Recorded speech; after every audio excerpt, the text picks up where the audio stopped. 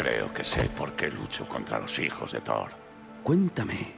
Como Atreus, eran hijos de un destructor.